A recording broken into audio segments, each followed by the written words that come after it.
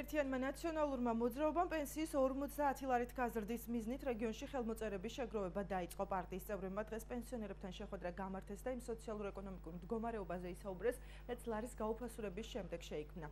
ზურაბ ჭიაბერაშვილის განმარტებით საქართველოში ამჟამად 700000 პენსიონერია, რომელთა პენსიის 50 ლარით ზრდას 420 მილიონი ლარი ჭირდება.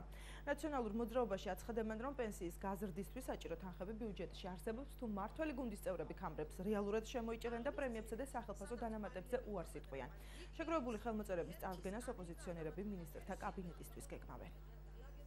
მოსახლეობა გაღარიბდა და განსაკუთრებით ასაკოვან მოსახლეობას სურსათი და მედიკამენტი ძალიან გაუძვრდა. ამიტომ 50 ლარის მომატება ეს არის ის აუცილებელი მინიმუმი, რომ აი ამ ადამიანებს შედარებით შეღავათი კონდეს და შესაბამისი თანხა ბიუჯეტში არის და მოიპოვება თუ მთავრობა რეალურად შემოიჭერს კამრებს და რეალურად მოხდება უარის თქმა პრემიებზე და დანამატებზე. არ 60 ლარი არ გაზრდილია ელექტრონი გაიზარდა სოციალური ზვირია წამლები გაიზარდა და მაგის საკმარისი არა 60 ლარი აბსოლუტურად არ ყოფს.